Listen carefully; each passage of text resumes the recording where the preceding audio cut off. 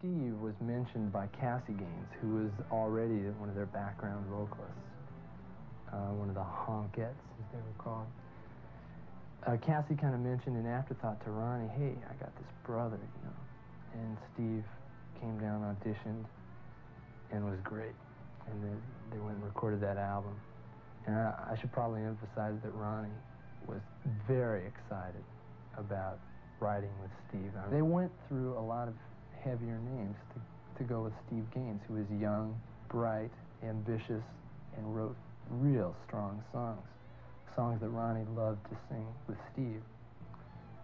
So I met Steve in Atlanta. He was quiet, definitely a little intimidated by the fact that he was joining this band and now was going to have to deliver the definitive live versions of their classics, right?